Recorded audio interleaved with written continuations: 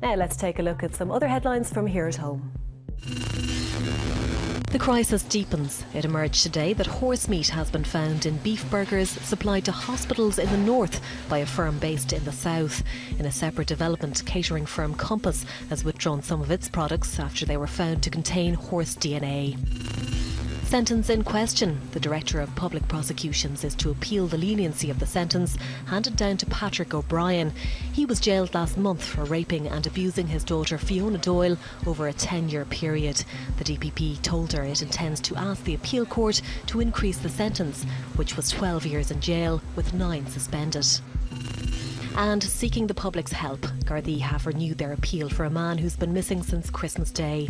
Paul Byrne was last seen between 3am and 7.30am on Christmas Day on Sandy Lane in Rush in County Dublin. He was wearing grey tracksuit bottoms and a black jacket. His mother says she has no idea why he disappeared.